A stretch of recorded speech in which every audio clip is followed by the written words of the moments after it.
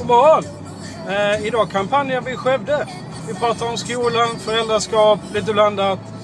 Kom dit! Hjärtligt välkomna! Hej!